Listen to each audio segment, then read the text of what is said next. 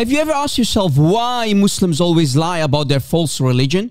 I'm sure you have experienced it in your own conversations with Muslims.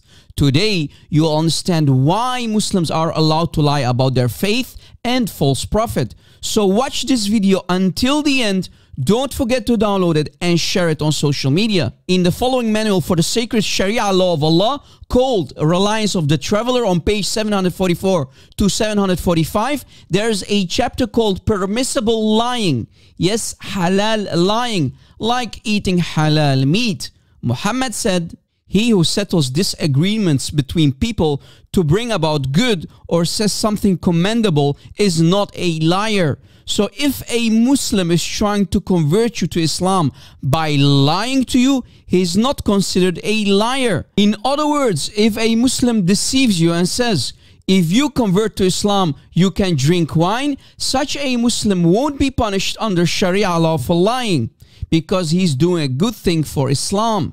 The Sharia is the final and deepest understanding and exegesis of the Quran and Sunnah of Muhammad. Prophet Muhammad said it's permissible to lie during war, settling disagreements, and lying to your wife and she to you. This is an explicit statement that lying is sometimes permissible for a given interest. Imam al-Ghazali said, speaking is a means to achieve objectives. If a praiseworthy aim is attainable through both telling the truth and lying, it is unlawful to accomplish through lying because there is no need for it.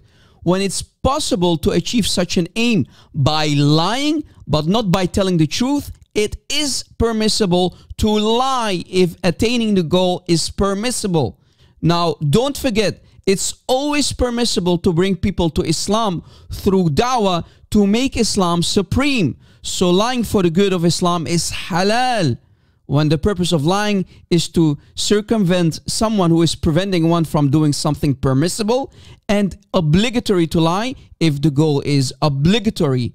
To make it more clear, here is an Imam from Al Azhar who's teaching Muslims how to lie to trick and deceive gullible people to convert them to Islam. كان في واحد مسلم بجوار واحد يهودي. فالمسلم كان يرى من اليهودي ده يعني شيء من الطيبة ولو كانت بسيطة. فكان نفسه بأي طريقة إن هو يبتكر طريقة يخليه يسلم بيها. فراح كلمه وقال له يا فلان يعني أليس لك حاجة في الإسلام؟ أنت ما نفسكش تسلم؟ قال والله ما يمنعني من الإسلام إلا أني أحب شرب الخمر. أنا فعلا نفسي أسلم من زمان بس أنا الحاجة الوحيدة اللي منعاني إن أنا مدمن خمر. فالمسلم ابتكر له طريقة. قال له خلاص أسلم واشرب الخمر براحتك. طبعا المسلم مش قصده كده طبعا. فقال له أسلم واشرب الخمر. قال له خلاص ماشي. فاليهودي قال أشهد أن لا إله إلا الله وأن محمدا رسول الله صلى الله عليه وسلم. فقال له المسلم الآن أصبحت مسلما. فإن شربت الخمر طبقنا عليك حد الخمر. وإن ارتدت عن دين الله قتلناك. فثبت الرجل على دينه ولم يشرب الخمر أبدا بعد ذلك ودي كانت حيلة جميلة من هذا المسلم This is Sharia. This is the Islam of their Satan who they call Allah. As you see, without lies, Islam dies. Please stay away from Islam.